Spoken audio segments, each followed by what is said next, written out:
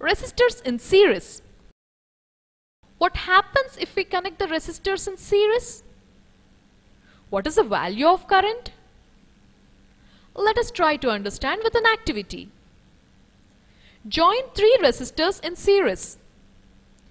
Connect them with a battery of 6 volts, an ammeter and a plug key with connecting wires. Plug the key and note the ammeter reading. Change the position of ammeter in the circuit anywhere and take readings.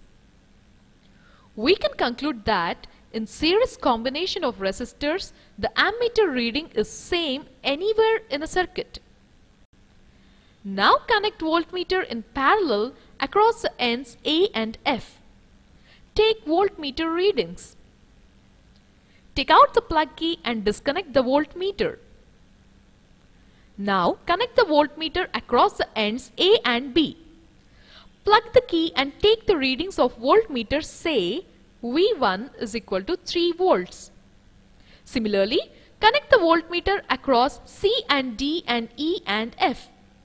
Take readings in each case say V2 is equal to 2 volts and V3 is equal to 1 volts.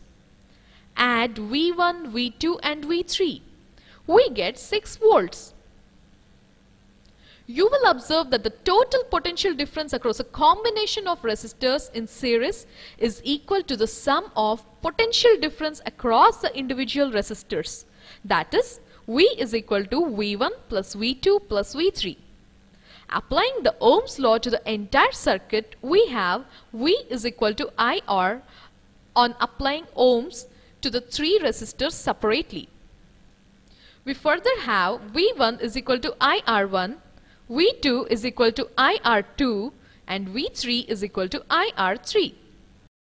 Substituting 1, 2, 3 and 4 in equation A, we get IR is equal to IR1 plus IR2 plus IR3 or we get RS is equal to R1 plus R2 plus R3 we can conclude that when resistors are connected in series, the resultant resistance Rs equals to sum of the individual resistances.